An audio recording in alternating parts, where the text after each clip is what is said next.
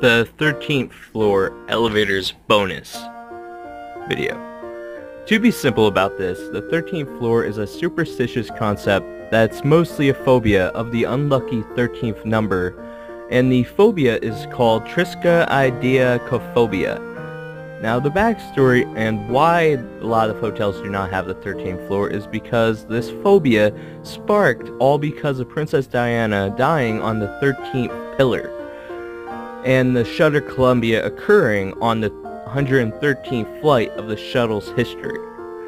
Now, hotels do and do not have 13 floors depending on if they have a phobia of this cursed number or if they do not. In the end, it's what you choose to believe. Thank you.